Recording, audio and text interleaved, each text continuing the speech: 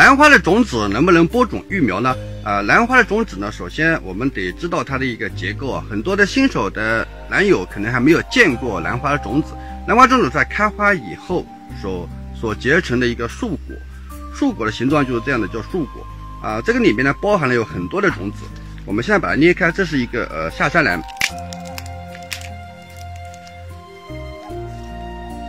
兰花种子就是这样的，非常的细小啊，呈粉末状，非常细小的。这一个果子里面可能有十几、几十万粒种子啊。兰花种子它对这个环境和水分的要求呢特别的苛刻啊。当然了，除了水分呃和环境、土壤这些必要的因素以外，还需要一种兰菌，就是兰花共生菌，必须要有这种兰兰花共生菌，它才能。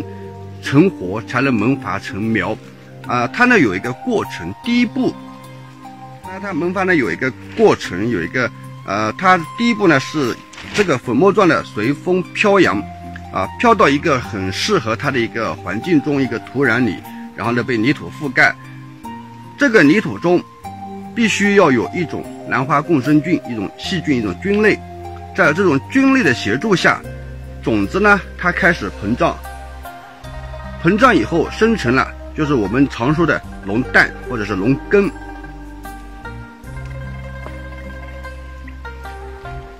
它首先呢是生成了这么一个龙蛋啊，像生姜块一样的一个块状的东西啊。有些呢种子可能集聚在一起比较多，这个龙蛋呢就大啊，很大的一块啊。有些呢就比较少一点，像这样的比较少一点。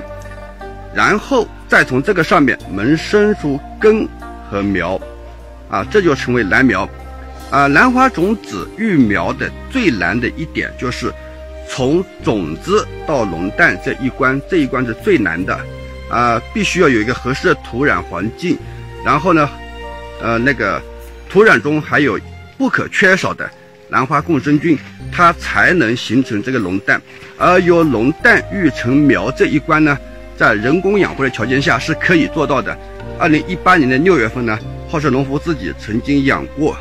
养过一盆这个龙蛋苗，啊，最后呢把它养成苗了，养养出根，养成苗了，啊，根也长出来，苗也长出来，这是可以做到的。但是从种子到龙蛋这一关很难做到。